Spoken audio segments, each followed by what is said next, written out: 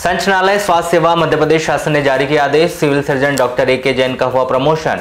नरसिंहपुर के मुख्य चिकित्सा एवं स्वास्थ्य अधिकारी होंगे doctor A K Jain.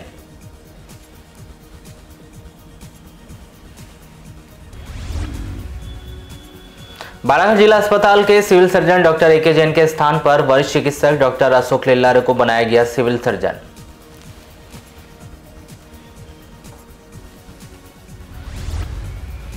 Police अधीक्षक अभिषेक तिवारी ने रक्षित केंद्र में पदस्थ दो इंस्पेक्टर और तीन सब इंस्पेक्टर को अलग अलग थानों में भेजे जाने की निकाली list.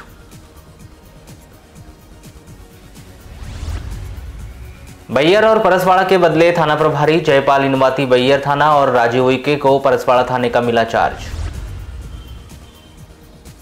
Sub inspector Amber Singh Sikarwar बैयर थाना, अर्जुन समेलिया रुबजर थाना और मनोज सेंधव को भरवेली थाना भेजा गया।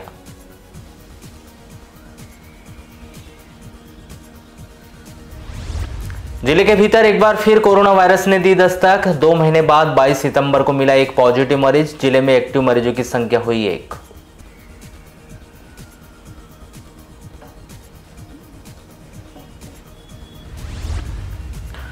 जिला मुख्यालय से 10 किलोमीटर दूर पिंडराई पंचायत में नाली नहीं बनने से ग्रामीणों में आए दिन पानी निकासी को लेकर हो रहा विवाद। ग्रामीणों ने बताई पानी निकासी को लेकर परेशानी।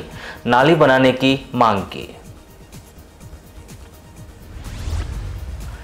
पिंडराई पंचायत के प्रधान ने दी जानकारी, सड़कों के लिए मिला पैसा, नाली निर्माण के लिए बजट का इंतज़ार।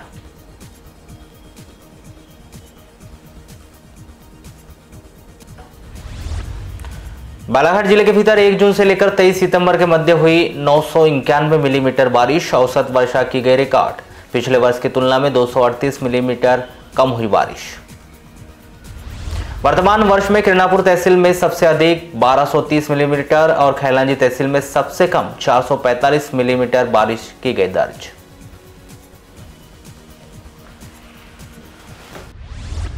कीटनाशक के प्रभाव से कोतवाली थाना के अंतर्गत पाथरवाड़ा गाँव के कृषक नयन नगपुरे के इलाज के दौरान जिला अस्पताल में हुई मौत।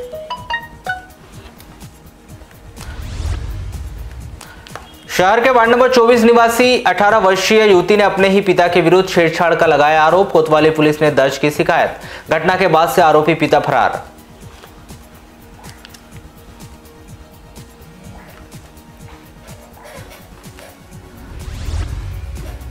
एक और नव विवाहिता ने ससुराल पक्ष के विरुद्ध दर्ज कराई दहेज प्रताड़ना की शिकायत। बिरसा थाने के ग्राम मूड घुसरी की घटना, पीड़िता के पति, ससुर और सास के विरुद्ध अपराध दर्ज।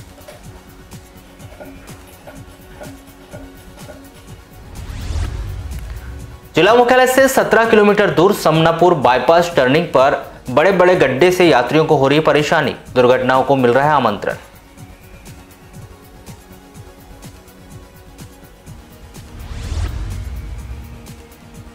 ज़िले के रूपजर थाना के अंतर्गत सोनेवानी पुलिस चौकी के कुल्फा गाँव से दो दिन से लापता व्यक्ति का मिला शव। जंगल किनारे झाड़ियों में मिला मृतक सूरजलाल पुशाम, उम्र 45 वर्ष का शव। सिर पर पत्थर से चोट के निशान हत्या के प्रकरण में सोनेवानी पुलिस ने दर्ज किया मामला। शुरू की जाँच।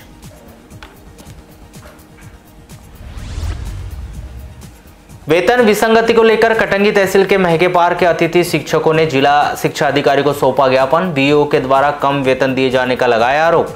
जिला शिक्षा अधिकारी ए के उपाध्याय ने पूरे मामले की जाँच करवाने का दिया आश्वासन।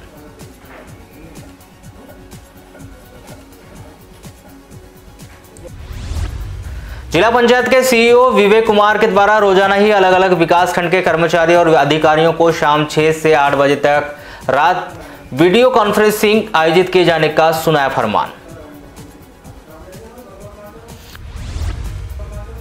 जिला पंचायत सीईओ के द्वारा जारी किए गए पत्र का जनपद और जिला पंचायत के कर्मचारी संघ में दिख रहा विरोध। शनिवार को कर्मचारी के द्वारा आयोजित की जा सकती बैठक, ली जा सकते हैं निर्णय। दबी ज़ुबान पर दिखाई दे रहे विरोध के स्वर।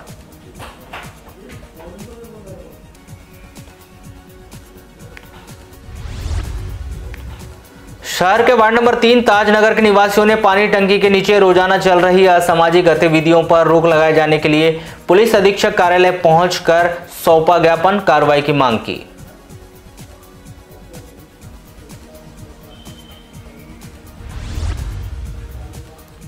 बारासुनी थाना के अंतर्गत डोंगरमाली रोड के ग्राम महाराजपुर में तेज रफ्तार मोटरसाइकिल ने सड़क किनारे खेल रहे सात वर्षीय बालक को मारी ठोस।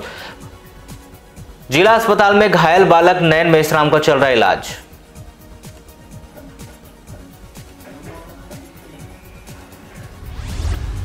आपराधिक प्रकरण दर्ज होने पर प्राथमिक स्कूल के सहायक ग्रेड तीन विक्रांत ध्रुवे पर निलंबन की हुई कार्रवाई। विक्रांत ध्रुवे के विरुद्ध आपराधिक प्रकरण होने के कारण 16 सितंबर 2021 को 48 घंटे के लिए पुलिस अभिरक्षा में उसे रखा गया था।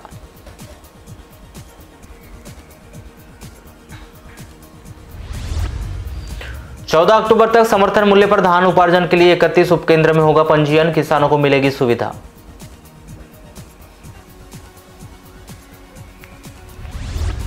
खैलांजी जनपद पंचायत के अंतर्गत आने वाले भंडार बोर्ड के ग्रामीणों ने वारासुनी एसडीएम संदीप सिंह को सौंपा ज्ञापन। राशन दिलाए जाने के लिए मांग की सेल्समैन पर लगाए गंभीर आरोप।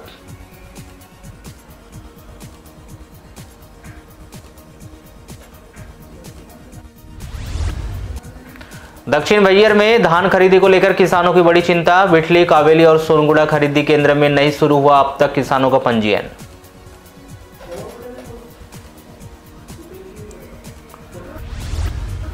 वारासुनी पंचायत के रामपाली सहित अन्य ग्राम के ग्रामीणों ने एसडीएम संदीप सिंह को सौंपा ज्ञापन। वारासुनी के सिंगोड़ी में समर्थन मूल्य पर धान खरीदी के लिए पंजीयन केंद्र शुरू कराने की रखी मांग।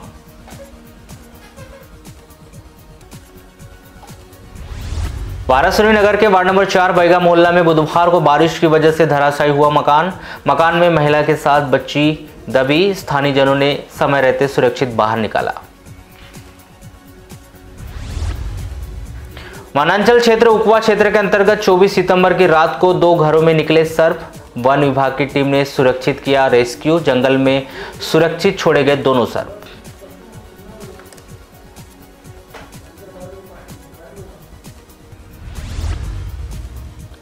डिप्टी कलेक्टर आयुषी जैन को नजुल अधिकारी का मिला प्रभार। कलेक्टर डॉक्टर गिरीश मिश्रा ने प्रशासनिक अधिकारियों के बीच किए गए कार्य के विभाजन का किया संशोधन।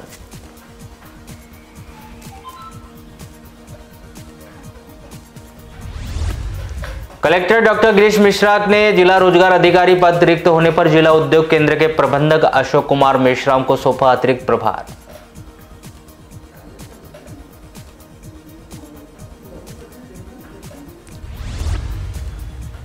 काना टाइगर रिज़र्व में हाथी रिनोवेशन कैंप का हुआ आयोजन। एक सप्ताह तक खूब हुई हाथियों की खातिरदारी। हाथियों की खातिरदारी के दौरान वर्लपुर खुराक विटामिन मिनरल्स का रखा गया था स्टॉक। नवोदय विद्यालय की कक्षा नौवीं में प्रवेश के लिए ऑनलाइन जमा किए जा सकते हैं। आवेदन इकतीस अक्टूबर तक रखी गई अंतिम तारीख।